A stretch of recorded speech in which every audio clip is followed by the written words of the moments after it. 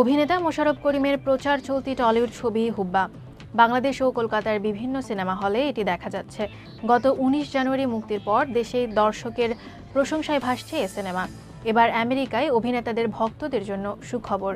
ফেব্রুয়ারির শুরুতে যুক্তরাষ্ট্রের প্রায় ত্রিশটি শহরে মুক্তি পেতে যাচ্ছে ব্রাত্য বসু পরিচালিত হুব্বা। ভারতীয় সংবাদ মাধ্যম জানায়, চলতি সপ্তাহে মুক্তি পেতে চলেছে ছবিটি। New York, Los Angeles New Jersey, Boston, Virginia, San Francisco, Dallas, Atlanta সহ একাধিক শহরে চলছে মুক্তির প্রস্তুতি।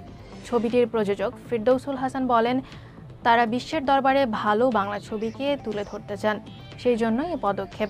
কলকাতায় মোশাররফ করিমের দ্বিতীয় ছবি হুব্বা। এতে অভিনয় করেছেন গ্যাংস্টার চরিত্রে। ছবিটি নির্মিত হয়েছে হুগলির কুখ্যাত গ্যাংস্টার হুব্বা শ্যামলের জীবনী অবলম্বনে। এর আগে তিনি একই নির্মাতার ডিকশনারিতে অভিনয় করেছিলেন।